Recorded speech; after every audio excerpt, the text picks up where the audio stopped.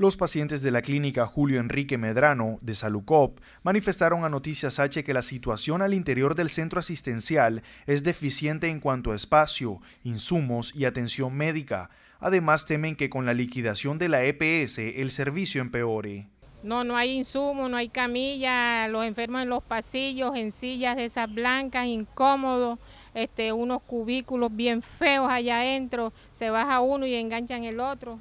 Además de atender a los pacientes en los pasillos, en esta imagen se observa cómo un hombre de la tercera edad es atendido debajo de las escaleras y a su lado otro paciente en una camilla. Ves por los pasillos ancianos de alta edad, no hay camillas eh, y las camillas, los cubículos están, las camillas están en hacinamiento. Los familiares de los pacientes también expresaron que les toca obligar a los médicos para que presten sus servicios.